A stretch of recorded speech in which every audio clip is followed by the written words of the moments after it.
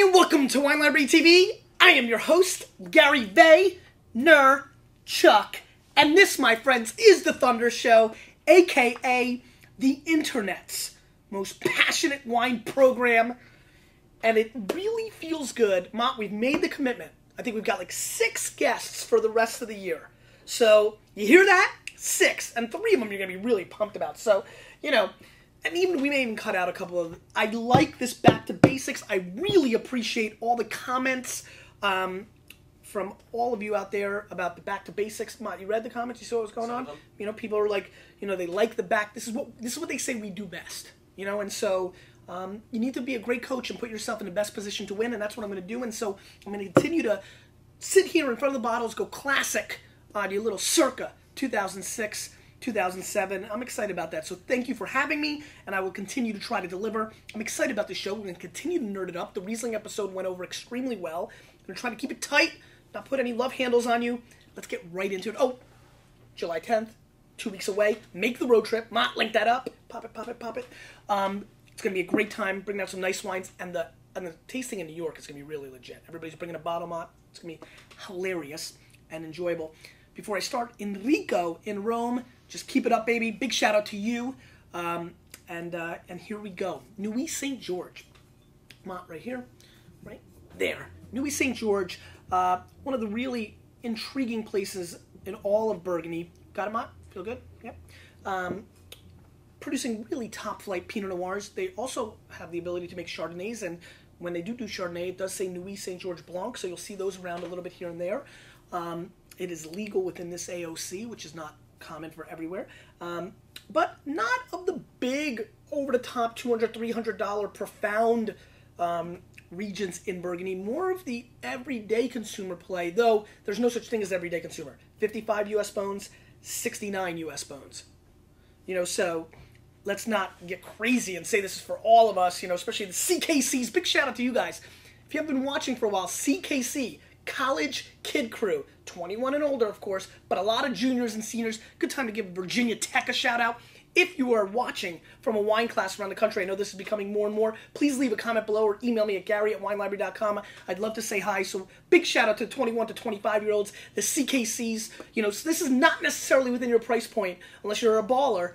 Um, but they are definitely a little bit more controllable in price points compared to some of their you know other friends within Burgundy. And because of that, there are no Grand Cru vineyards within Nuits Saint Georges. Now, there are 27 Premier Cru vineyards. We've got two of them here, and then obviously just a straight Nuits Saint Georges um, um, classification. Let's get into the first one. We'll get into more uh, more stuff in a second. This is the uh, Domaine Daniel Rion 2006 Nuit Saint George Vieilles Vignes, which means old vines. All right, got it. Um, one of the things I think is really interesting about Nuits Saint Georges is that a lot of the negotiants um, that uh, go out and buy, you know, grapes and make their own brands are headquartered in in Nuits, um, and so really interesting place. I, I still think pretty well priced for the high quality that comes out of here. Definitely the most swallow price point category uh, of the of the top regions in Burgundy.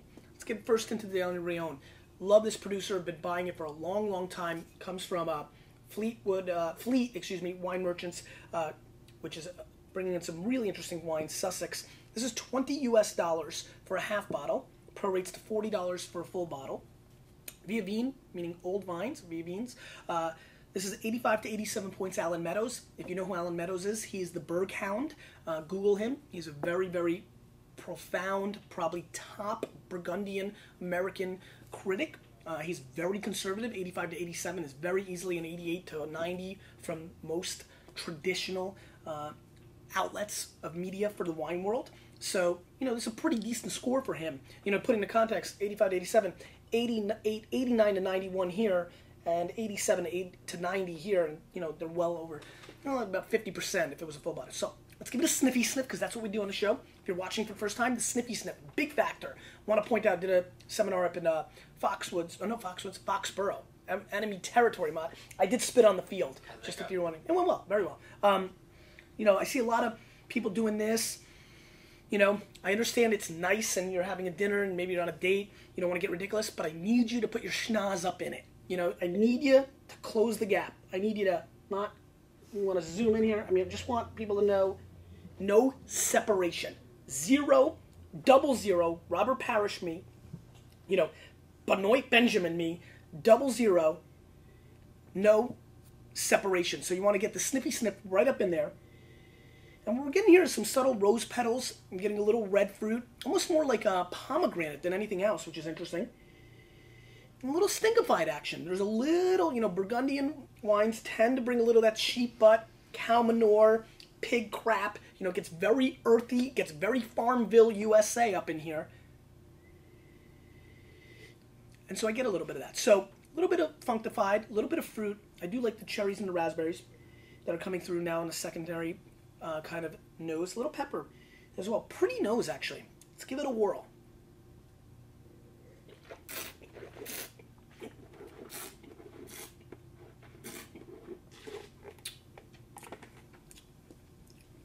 Great tannin structure. Wow.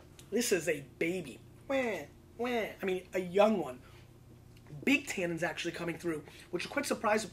I, I didn't expect it to be so um, aggressive, but you get it. Their heat is coming through on the back end as well. Um, 13.5, but I'm getting it a little bit. I'm getting some nice, you know, kind of almost cherries meets raisinets. I get this like raisinette milk chocolate kind of thing coming through.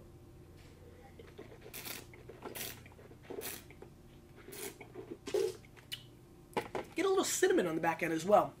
A little hint of cinnamon, kind of kirshy, tr- strawberry, cherry kind of thing going on, red fruit. Um, not bad. Solid wine, very serviceable, bigger than your American counterpart Pinot Noirs, um, but definitely the heat is spiking on this wine. I think it's a little off balance. Um, to me, this comes across like an 87, 88 point wine.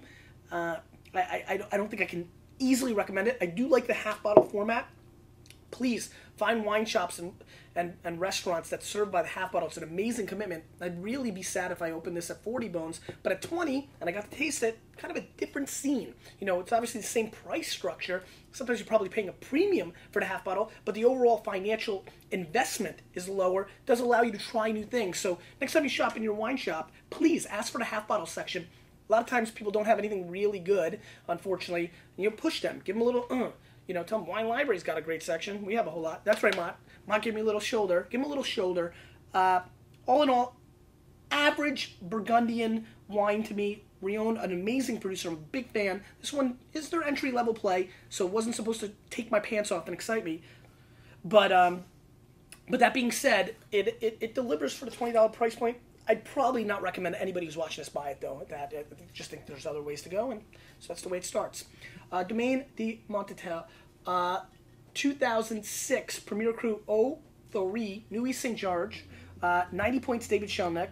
Uh, Montille is uh, a very, very 89 to 91 points. Uh, Alan Meadows. This is a very, very, very um, prestigious kind of wine. I've had a lot of their different wines through the years. Um, 55 double nickels in price point, so it is not inexpensive by any stretch of the imagination. It is a little bit lighter in color than the last wine, so you're getting that elegance. Snippy snip it up. No separation. A little more aggressive on the nose here. This definitely has even more of that funky uh, thing going on. Little, you know, gym class locker room that you never cleaned out. Um, so you might le- might have left a bologna sandwich and a pair of shorts from the second day of school, and you didn't wear them once again. I mean, like that kind of stuff. Little pepper, which I like, a little more white pepper than anything really. Pretty nose, but a little bit, you know, started off aggressive and kind of became, on you know, as I'm, I'm continuing to snippy sniff. It's okay. Little radish, believe it or not, little red radish. Interesting. Let's give it a whirl.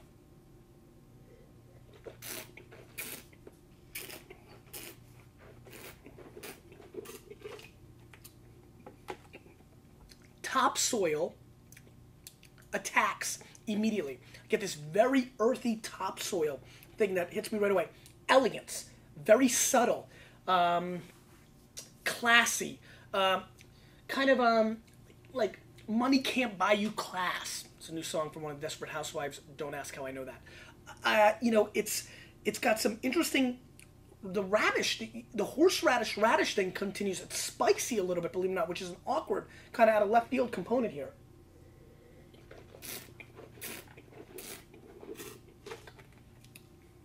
Good, medium bodied. It's good. It's it, you know, 91, 89, 91 Meadows and 90 David Schildknecht, who's writing for Robert Parker. I, I did have more expectations going in. I think the rating disappoints me. It's a little bit lighter than I expected, and it's not as complete. I feel like there's a really intriguing disjointing process going on between the mid palate and the finish. This is the kind of wine that you'd want to pair with duck, um, lobster, you know, lighter kind of seafoods for sure, hen, Cornish hen. You, so you want to go the lighter, maybe even ribs, though they could be a little bit too aggressive, especially if you get the sauce going. I think this is a little bit of a disappearing act. This is a little Patrick Swayze and Ghost. I mean, you know, can't see it. Demi Moore could, but you know, or no, Whoopi Goldberg could. Eh, I'm not Whoopi. I'm going 87 on this. Major pass. Very disappointing. There's a hair of anger in the back of my voice. I don't know if you're catching it. I'm mad. Let's move on.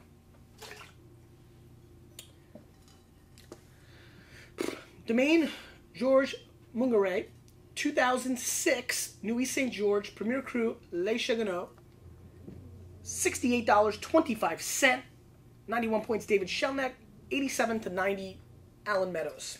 Let's give a little rinse. Now again, these wines have an elegance and a pedigree. Oh God, much darker.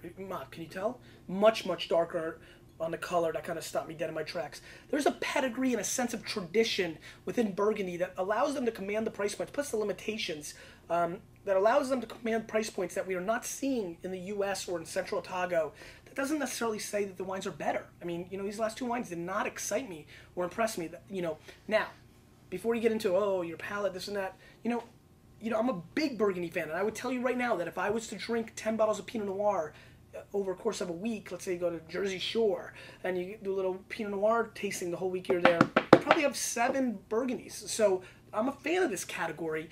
Just a little under delivering here today, which is a little bit disappointing. Great color on this one, a little bit more, you know, clearly darker. Makes you wonder, you know, if it's going to have more oomph. Let's give it a sniffy sniff. The noses have not been as interesting for me as I was hoping. So again, you're going to get definitely more earthy tones. This is the one thing I adore about Burgundies over the New World Pinot Noirs that go more, you know, cherry cola, you know, raspberry kind of stuff.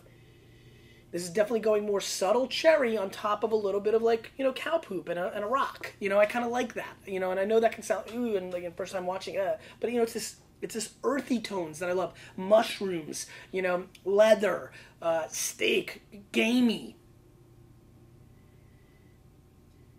You sad about the U.S. losing in the World Cup? Were you getting into it? I feel like I jinxed them. You jinxed them. Because I watched. I hadn't been watching them, and I watched on Saturday. And they lost. You jinxed them. Ghana should send you a present. They should. That last goal by Ghana, that was a beautiful goal.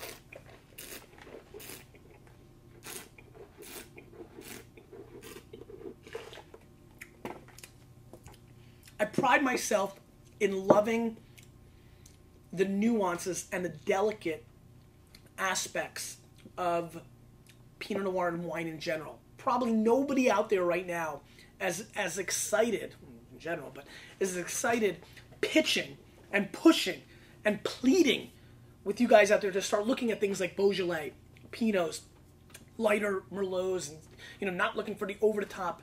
So it pains me to be dramatically more into this wine than last wine, where this one did come with that elegance, with that lighter, you know, kind of style you know, I, I uh, can see it here just in color, Mott. Just want to show everybody at home. You seeing it? Is it obvious? It's very obvious. You know, and so I know everybody who's a camera guy or Hollywood guy. I get it. I know we have a crap set, but we like to roll ghetto style. Them. That's, that's how we do it. That's how we roll. Uh, but that being said, it's undeniable this wine is tastier, more complex. Not because it's heavier, just more complex. Has more flavor going on. It, you can be very complex, light uh, but this darker attack is uh, something that is appealing to my palate right now. It is it is coating my palate. It's got great structure, long fruit. I love the cherry raspberry thing going on.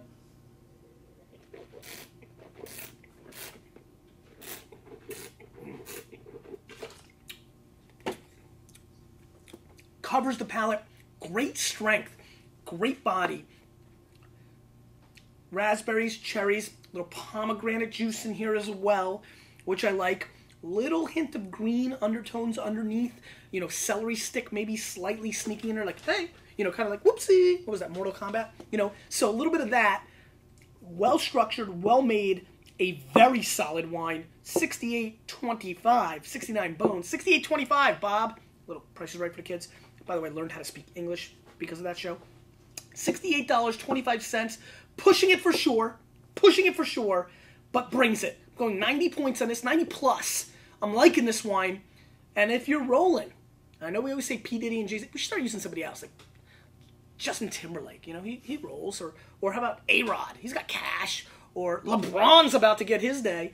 So is Joe Johnson. Um, I like it. I like this wine a lot. I think you would like it. And if you want to roll and you want to try real top class, you know, Premier Cru, Nuits St. Georges Burgundy, taste the elegance, taste the refinement, but taste the real essence of, of the area. I think this wine does the best job. I agree with Schildknecht and Meadows on this one. I'm going 90 plus points. I think it's fantastic. Please uh, text yourself. It is 2010 and try to order it at the next restaurant you're in.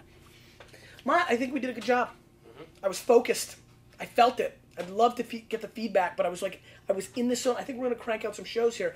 I, I feel like we're we're in a rebirth. You know, we're, we're mature now. We're like a four year old. We're about to hit kindergarten, preschool. We need to bring it. We're getting very close to episode 900, um, and uh, and I really do appreciate. I- you know, I got some great emails this week, and I just riff for a second. Thank you so much. I'll I'll just wrap it up right now. A lot of people emailing me saying the reason they don't comment is because they're mobile or they watch on Hulu or on YouTube or other places. So I just want to give a big shout out to my YouTube, Break.com, Hulu. Big up to you guys. Definitely, uh, definitely iTunes, which is a dramatically commanding part of our viewership at this point. Just want to thank all of you, whether you're old school and you go to winelibrarytv.com or you do it in those other platforms. That's why you don't comment. Still a little bit of a bullcrap response. Come home and do it because you know we love it. But uh, I hope you love the show as much as I love putting it on for you. Question of the day. Fourth of July weekend coming up. That's what we got coming up on the back end of this weekend.